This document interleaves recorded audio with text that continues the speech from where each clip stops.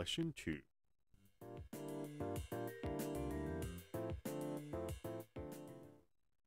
خب دوستان عزیز درس دوم رو با هم داریم از دوره حجم انگلیسی تجاری و بازرگانی. طبق معمول فایل اصلی براتون پخش می‌کنم. فایل اصلی خود کتاب هستش. با دقت گوش بدین و کتاب رو داشته باشین. دستتون پی دی اف رو براتون باز باشه. بهتره که متون رو ببینید و اصطلاحات رو ببینید و حتما همزمان همزمان گوش بدید. دوستان عزیز با دقت آغاز میکنیم Lesson 2 Talking about Financial Issues. Juan and Diane work in the finance department of Delicious Delights, a company that makes snack foods. Here, they're discussing the financial projections for a new product line. I'm really excited about the launch of our new line of fat free, Bluetooth delicious disconnected. delight donuts. Me too. But before we go any further, we'd better make sure this product line is going to be profitable. I did some back of the envelope calculations. Take a look. Hmm, I see you've estimated $2 million for the new equipment. Where did you get that figure? That's an educated guess based on some equipment I bought last year. You're going to need to double check that. Using old estimates can get us in hot water. No problem. I'll get on the phone with the manufacturer in Dallas and get a price quote. Do you have a sense for market demand? We should get the forecasts from the marketing department before we crunch the numbers. We don't have those yet. Mary from marketing said maybe we'd have them next week. It just blows my mind when marketing people want us to run numbers and they don't bring us the information we need. If we end up in the red on this project, it's going to be their heads on the chopping block, not ours. They're the ones with P&L responsibility. Our CFO won't give this project the green light until he sees all the numbers. If it doesn't look like we'll make money or at least break even, he'll pull the plug on the project. خب دوستان عزیز به فایل اصلی ما گوش کردیم و دیدیم که در این درس اصطلاحات بسیار متنوعتر هستش اندکی هم اه، از لحاظ معنی و رسوندن معنی یکم سخت هستن ولی خب با مثال ها حتما قابل هضم تر خواهند شد. خب از بخش اول با هم دیگه شروع می‌کنیم. توی این مکالمه در این درس دوم اول ببینیم که در مورد چی بود کلا تاپیک تاپیک این بودش که میگه میگه دو تا شخص جوان دا... مثلا هر کی اصلا اسم خودم میگم. میگم جانسون اند جیمز. خودمون بگیم. جانسون اند جیمز. میگه این دو نفر کجا کار می‌کنن؟ توی یک دپارتمان مالی در شرکتی به نام سازمانی به نام Delicious Delights. اسم یه سازمانه. این جیمز و جکسون دارن توی دپارتمان مالی این شرکتی به نام Delicious Delights کار می‌کنن. میگه یک شرکتیه که اسنک فود تولید می‌کنه.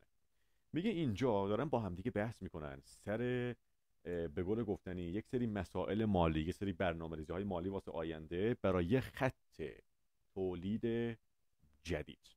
خب ببینیم به هم دیگه چی گفتن. که I'm really excited about the launch of our new line of fat-free delicious delight donuts. میگه چی میگه؟ میگه که آقا میگه از یه مسئله خیلی خوشحالم. میگه از اینکه ما شروع کردیم این خط جدید دونات های بدون چربی Delicious Delight رو من خیلی هیجان زدم. من خیلی خوشحالم که ما این کار رو این کارو کردیم. این خط تولید چی رو راه انداختیم؟ دونات های بدون چربی رو انداختیم. شرکتمون. خیلی خوشحالم. خیلی کار خوبیه. اینجا اصطلاحی نبود. این یکی میگه آقا میگه می چی؟ But before we go any further before we go any further we had better make uh, sure this product line is going to be profitable. میگه ولی قبل از اینکه اصلا قدم دیگه ای برداریم کار دیگه ای بخوایم انجام بدیم این وسط اصلا قبل از اینکه ما جلو بدیم یه قدم دیگه برداریم چیکار کنیم؟ بهتره بهتره مطمئن بشیم. میگه we had better we had better make sure this product line مط- مطمئن بشیم که این خط تولید is going to be profitable is going to be profitable قرار واسه ما سودآور باشه باید از این مطمئن بشیم خب نفر بعدش چی میگه میگه I did some back of the envelope calculations take a look I did some ba- back of the envelope calculations I did some back of the envelope calculations دیدی که مثلا یه دسته آدم هول میشه میگه یه دونه کاغذ بده با خودکار سری میخوام یه سری ام، تفریق و جمع انجام بدم. بعد هی خط خطی می‌کنه اینو می‌نویسه اونو می‌نویسه پشت کاغذ اینو هر مورچاله می‌کنه بعد آخر به چی می‌رسه؟ نگاه کنیم به اصطلاح back of the envelope calculations. محاسبات پشت کاغذی. ما میگیم پشت کاغذی میگه پشت نامه. یا مثلا پشت برگه نامه پشت یه برگه چیزی. back of the envelope calculations یاد همین جمله من بیافتید یه خودکار برمی داری یه کاغذ باطله سری به اضافه منها تفریق تقسیم هی خط خطی می‌کنی فلان می‌کنی خط می‌زنی. میگه این اشتباه بود آخر می‌رسی نتیجه دلخواهت یعنی یه سری محاسبات سری خب میگه آقا من یه سری محاسبات خیلی سرانگشتی و سری سرانگشتی و سری انجام دادم یه نگاه بنداز شاید خوشت اومد طرف نگاه می‌کنه میگه I see you have estimated 2 million for the new equipment where did you get that figure where did you get that figure just tell me okay I see you have estimated 2 million for the new equipment so where did you get that figure میگه می‌بینم که تو دو میلیون دلار فقط تقسیم زد بودجه اختصاص دادی منظور واسه تجهیزات جدید. تو این آمار ارقام از کجا در آوردی از کجا آوردی اینا رو میگه؟ میگه that's an educated guess. That's an educated guess. Guess که میشه حدس گمان. میگه educated guess. در انگلیسی بازرگانی این لغت رسما معنی میشه حدس قریم به یقین.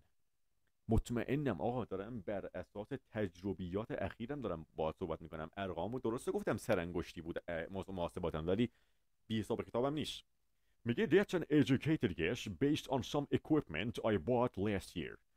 بر اساس یه سری تجهیزاتی که من سال پیش خریدم این چیزی که الان تو دیدی آمار ارقام کاملا یک حدس قرین به یقین اوکی پس educated guess شد قرین به یقین برمیگرده میگه you are going to need double check that You're gonna need to double check that. You are going to need to double check that. Please double check it. آقا دوباره double checkش کن. دوباره واسه من بررسی کن ببینم من دو میلیون خیلی عجیب برام عجیب میاد. دوباره بررسی کن. Using all the estimates, using all the estimates can get us in hot water. یه اصطلاح خوب داریم. میگه ببین بهت بالاخره از من گفتن. استفاده از آمار و ارقام و تخمین های قدیم الایام الان تو زمان امروز می‌تونه ما رو بد تو هچل بندازه. آب داغ. In hot water. In hot water. یعنی ما رو تو هچل میندازه یعنی ما رو بدبخت می‌کنه ما رو تو هچل میندازه. اون موقع بیاد دردسر میفتیم اصلا عجیب. تو هچل میفتیم رسما دیگه. میگه in hot water. خب. میگه no problem. I will get on the phone with the manufacturer in Dallas and get a price code. No problem. مشکلی نیست. I will get on the phone with the manufacturer. من حتما تماس می‌گیرم با تولید کننده با manufacturer کجا؟ توی دالش توی تگزاس آمریکاش. و میگه بعدش کار می‌کنم get a price code و ازش قیمت می‌گیرم.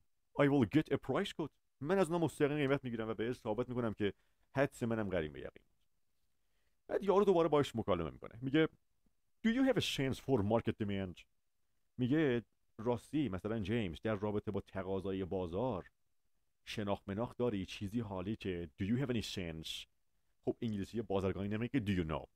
Do you have any chance for market demand تقاضای بازار چجوری اوضاعش الان میگه we should get the forecast from marketing from marketing departments before we crunch the numbers خب we should get the forecasts from the marketing department before we crunch the numbers میگه ببین بالاخره اینو بدون دیگه قبل از اینکه ما اصلا شروع کنیم به امور حساب و کتاب و حسابرسی و حسابداری میگه اول باید یه به قول گفتنی پیش بینی انجام بدیم. از کجا؟ از واحد بازاریابی.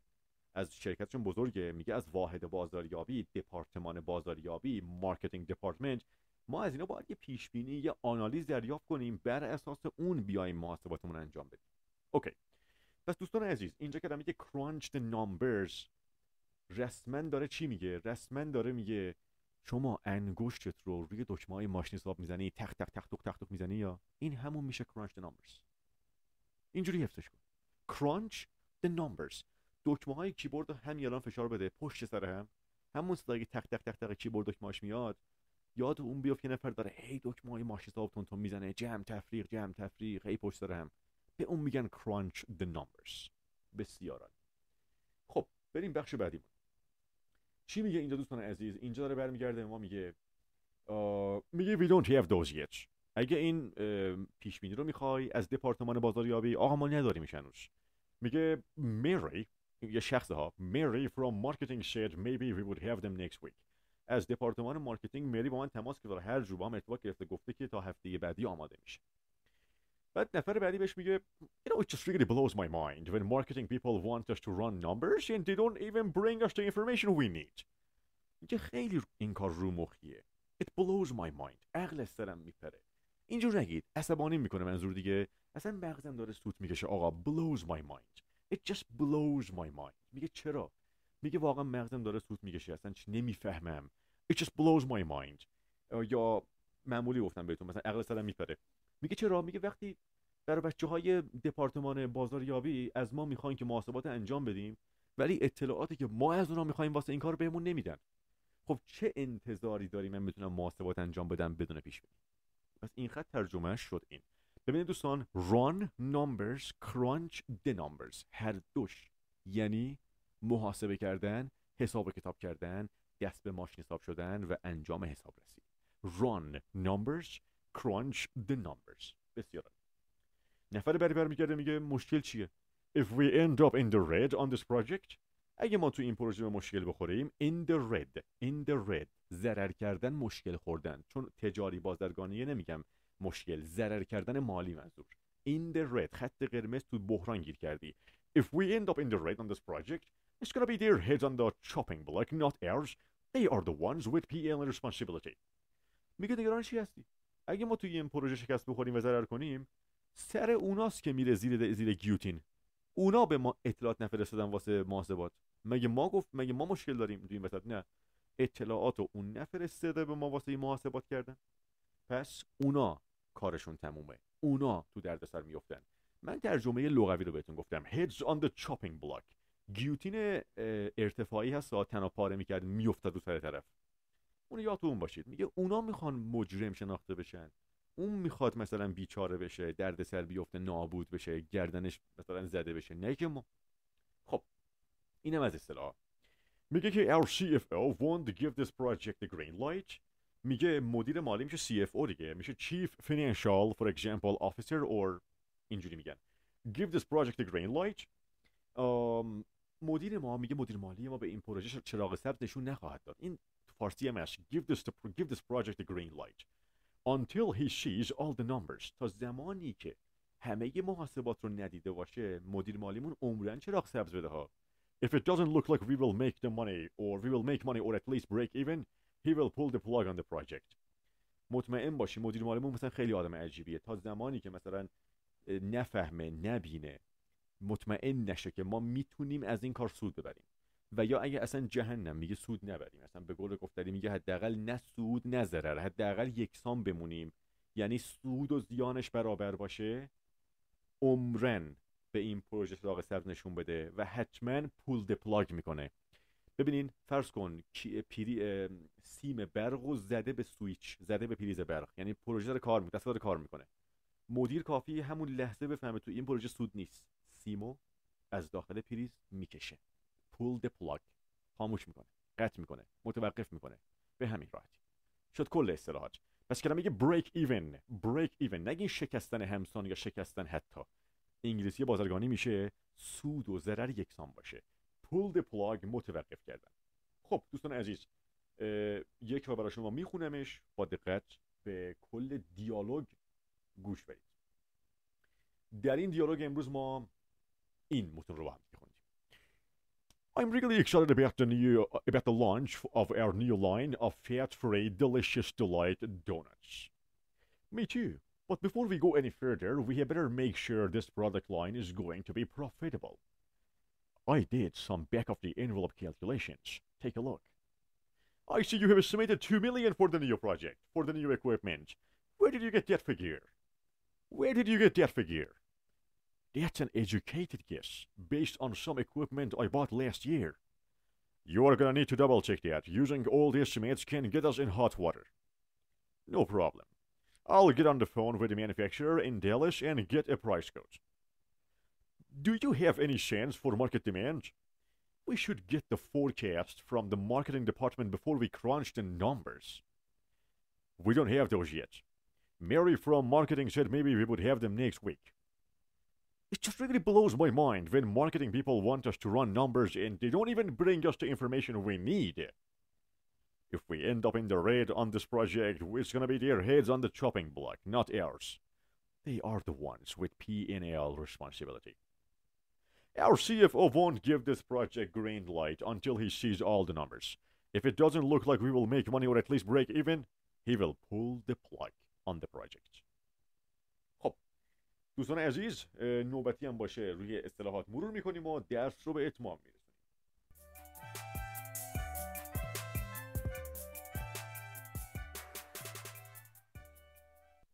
Back of the envelope calculations. محاسبات سرانگشتی و خیلی سرسری پشت کاغذ خودکار سری جمع و تفریق ضرب و تقسیم جمع و تفریق جمع و تفریق و رسیدن به نتیجه. ولی خیلی هول هولکی Back of the envelope calculations. Educated guess. یعنی حدس قدیم به یقین حدسی که educated بر اساس تجربه است In hot water In hot water یعنی توی مخمسه و درد سر افتادن. Crunch the numbers صدای دکمه های ماشین حساب رو یادتون نگه دارید. تق تق تق دکمه رو میزن داره محاسبات انجام میده. Crunch the numbers محاسبه کردن و محاسبات مالی و حسابرسی کردن. It really blows my mind. It really blows my mind. واقعا من تو تعجبم حاجی تو بحتم مثلا منو اذیت می‌کنه. نمی‌فهمم چرا. که مثلا چرا اونا داده هایی که ما می‌خوایم بهمون نمیفرستن در حالی که ما نیاز داریم واسه انجام پروژه. بعد انسان کارم انجام بدیم. پس اینجا میگه really blows my mind. Run the numbers. هم خانواده که میگه عبارت crunch the numbers. Run the numbers. یعنی می‌تونی به دو بگی. Run numbers. یعنی رسما برمیگردی میگه که آقا محاسبه کردن دوباره ماشین حساب و اینجور مسائل. In the red. In the red. یعنی از دست دادن پول و ضرر کردن. در مخمسه درسته معنی میشه ولی منظور ضرر کردنه. این hot water میشه در مخمسه با درد تگیر کردن یا مشکل خوردن زندگی. In the red در انگلیسی بازرگانی تو نام نگاری یعنی ضرر کردن. One's head is on the shopping block. یعنی سرش تو گیوتینه. اون می‌خواد تو مخمسه گیر بیفته نه ما. Give somebody the green light. یعنی چراغ سبز رو به یکی نشون دادن. Give somebody the green light. Break even. Break even. یعنی سود و ضرر رو یکسان معیار قرار دادن. یعنی میگه بذار من پروژه را بندازم بهت گل میدم. ضرر نمی‌کنم. تازه اگه سودم نکنم مطمئن باش. سودم با ضررم یکسانه. ولی بذار شرکت رو بیارم بالا. Pull the plug. Pull the plug.